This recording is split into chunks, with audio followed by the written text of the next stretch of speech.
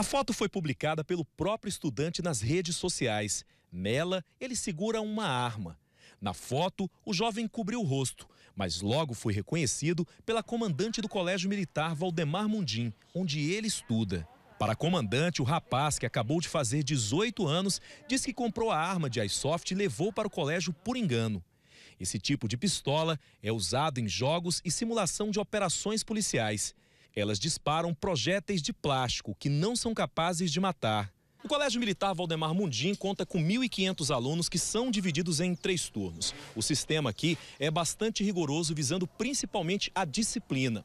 Há uma preocupação muito grande também com a segurança dos alunos. Por isso, o estudante que postou a foto segurando uma arma de airsoft, ele recebeu uma punição.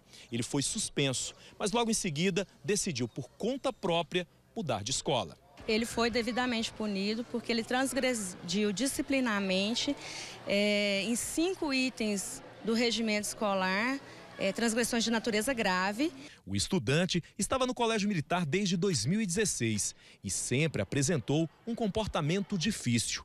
Segundo a comandante, foram dadas várias chances para que o aluno mudasse o comportamento, o que não aconteceu.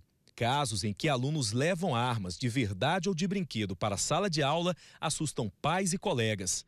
Em 2017, uma tragédia em um colégio particular de Goiânia mudou a vida de várias famílias.